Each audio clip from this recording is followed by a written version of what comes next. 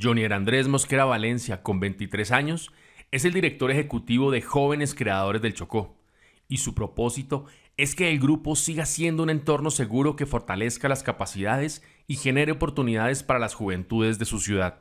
Mi historia en la educación ha sido de muchísimos aprendizajes. Yo vengo de la periferia de Quito, de los barrios profundos en el que nos atravesamos todo el tiempo con las barreras invisibles, con esas problemáticas que han sido invisibilizadas durante muchísimo tiempo y que ha sido la educación que se ha insertado en las comunidades para poder desentrabar y poder proteger las juventudes del municipio de Quito. Jonier hace un reconocimiento a la educación pública que ha contribuido en su proceso individual de relacionamiento y aprendizaje.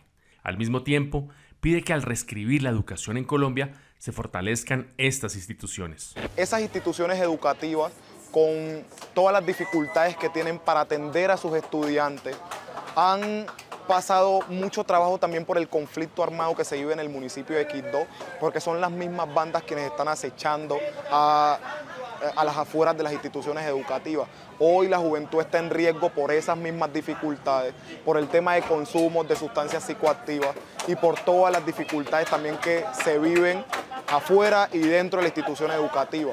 Son más de 600 personas que con su paso por el grupo de jóvenes creadores del Chocó han encontrado en la práctica artística un campo de aprendizaje que está conectado con la educación. Que nos permita también ser artistas críticos, ser artistas profesionales. El tema de la profesionalización en, en, un territorio como el nuestro, que se ha hecho de la calle, que nos educamos en la calle, que decimos que nuestra universidad es la calle. Asimismo, encuentra que el programa Universidad en tu Territorio, liderado por el Ministerio de Educación Nacional, se adaptaría a las necesidades de miles de estudiantes. Que se adapte a las peticiones y a las realidades con enfoque diferencial en los artistas y en las mismas personas que tienen sus dinámicas de educación.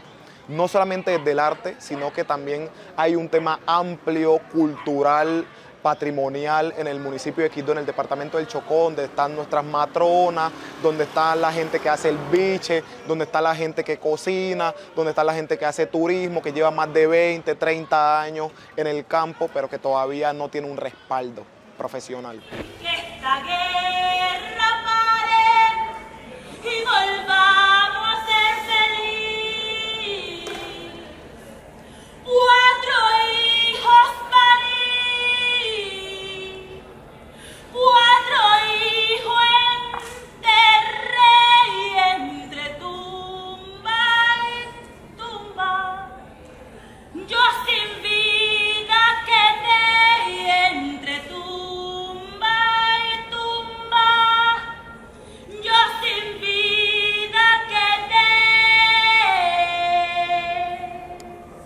Colombia, potencia de la vida.